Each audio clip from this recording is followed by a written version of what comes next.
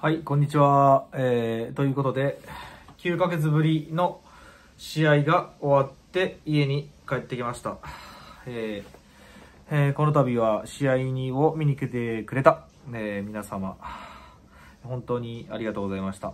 えー結果から、えー言いますと、えー判定2-0で負けです。うん。あの、久しぶりに負けた感覚、すごい。というか、久しぶりに負けた感覚というか、久しぶりに負けた。あーと、自分、言うたら、あれなんですよね。確かね、成績的に言うと、栗明くんと大田区総合体育館にやって TKO 負けしたんですよ。デコ切られて。ね。その時以来だったと思うんですよ。だからまあ、ブランクがめっちゃ空いてるから。その後3連勝か4連勝してたんですよね。まあ、超ブランクが空きながらのね。だから5年ぶりぐらいですかね。負けたのが。はい。しかも、今回は、ね、竹添くんという、えーまあ、最近、前回の試合でチャンピオンになった、えー24歳の若手の、えー子です。えーしかも、肘ありルールとしてね、えー普段竹添君は肘ありはやったことあるって言ってたけど、えーまあその経験はかなり少ない。俺なんか肘ありでずっとやってきた選手だからね。でまあ3ラウンドでやっているわけですけどまあこんな感じ、えー肘で 肘でこんな感じになっちゃいました。うーん。竹添君なんかね俺の印象ではスタミナ俺よりあったっぽい気がする。なんか、インターバルの竹添君の顔を見て、あ、まだ全然呼吸乱れてないみたいな。なんか全然スタミナ残ってそうって思ったもん。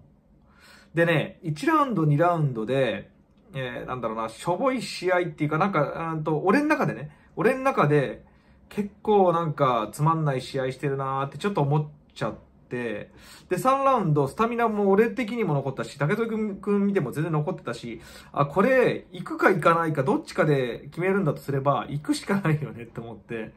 で、ちょっと、あの、まあ、周りからどう見えてるのかわかんないけど、俺的には行く方を選択したの。うん。あの、言い訳みたいになっちゃってるな、これ。で、なんだろう、うんと、もう最後二人ともね、肘狙いまくってて、俺、肘当たってんの。うん。すげえ情けない。肘ありずっとやってきた俺で、で、竹添君は肘ありあんまりやってきてないんですよ、ほとんど。で、俺、こんななってますからね。で、しかも、判定2-0で、まあ、3ラウンドのポイント、まあ、何ラウンドのポイントがジャッジがつけたのかわかんないけど、えーこれは完全にポイントですから。肘の有効打ですから、これ。で、えー判定負けです。いや、今の心境としては、う情けなくて、うん、やめるかやめないかみたいな感じで悩むところに入りそうになってたけど、でも、えーまだやめないかな。うん。それはなんでかって言ったら、もう、これはね、一個あるんですよ。なんか、あの、聞いた言葉で、あ、これって思ったも、言葉があるんですけど、不幸な負け方というか、情けない負け方したわけじゃない。うん。よかった。負けてなかった。うん、ドローか。むしろ勝ってたかもしれない。いや、負けてたっていう人も、負けてたっていう人いたかな。まあ、俺に 言う人は少ないか。うん、そうだと思ってたとしてもね。でも、なんか結構接戦の感じだったし、うん。まあ、俺、いや、でもな、竹添くん、いや、竹添くんが強かったんだ。うん。俺すぐダメなんだよね。ああ、なんか、ああ、よ、弱くなったみたいな感じで思っちゃうんだけど、相手をもっとリスペクトしなきゃいけないね。うん。いつも、俺弱くなった、弱くなった言ってるんだけど、竹添くんが絶対強くなってるよ。うん。ね。でも竹添くんね、あの、肘やりが慣れてないの分かった。あの、いや、もらったけどね。もらった分際で言ってるけど、なんか、遠くの方で肘振ってたもん。それ分かって、ああ、これ俺、肘やり始めた頃にやってたやつ、と思って。もう試合中に思って。うん。でもそんな、肘やりが、ね、まだあんまりやったことないのにもかかわらず、俺でやってくれた竹添くんは男だよ。って思った。うん。竹添くん、しかもスタミナあるし。うん。ああ、そうだよ。竹添君みたいなセンスあって若手で、ね、チャンピオンになって勢いある選手と、ここまでできたんだから。まだやめれないでしょ。これが本当に、あの、不幸な負け方したら、もう俊太やめとけって、っていう風に言われるような負け方をしてしまうんであれば、やめる。だから、俺の キックボクシング街道はまだ止まんないかな。うん。はい。だからちょっとね、まだ応援してくれてる人いるし、次が見たいって言ってくれてる人がいる。うん。俊太がやるところまでやったら、やる、なんだろう。うん、ずっと、い終わるまで見に行くからって言ってくれてる人がいる。うん。で、かっこよかったとか、感動したとか言ってくれてる方がいる。まだ、まだギリ大丈夫でしょ。うん。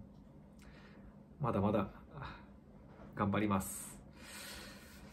本当にこの自分がキックボクシングをできてるっていうのは、えー、試合を見て、見に来てくれる皆様、えー、スポンサーで支えてくれてる、えー、方々、えそしてキックボクシングの試合をさせてもらえてる会長、誰一番は。うん。まあ、そう、もういろんな方が自分の試合を見に来てくれて成り立ってる。うん。不幸な負け方をするところまでやらせてください。うん。本当に今日は応援ありがとうございました。あと、この怪我のことで言うんですけど、これ、俺の感覚では、えー、ただ腫れてるだけ。あのー、眼下底してる風に見えるけど、眼下底骨折ね。俺何回もしてんだけど、胸骨骨折してる。眼下底も2、3回してるけど、眼下底の感じじゃない。俺はわかる。明日長井先生のところに行って、確認してくるから。眼下底じゃないことを証明するから。とか言ってマジで、前、ね、俺ポンコツだからな。うん。なんかひ、このさ、尺骨骨折して、もうずっと治んないから、ガンガン強くややればなんかって言って、なんか鍛えてた時があって、その時も鍛えてると思ってたけど、折れちゃってたからね。まあそういうポンコツ感があるんだけど、だからそんなポンコツの俺からすると、あれ折れてるかもしんない、そう思ってくると。いや、折れてないんだよね、多分。ただ腫れてるだけなんだよね。まあ明日、うん、ちょっと、中井先生に見てもらいに行ってきます。はい。というわけで、えー、自分のキックボクシング現役街道はもう少し続けたいなと思います。試合直後にこういう風に思えてるんだから、まだマシだな。うん。俺の、まあいいや、長いわ。はい、というわけで、えー、終わります。応援本当にありがとうございました。お疲れ様です。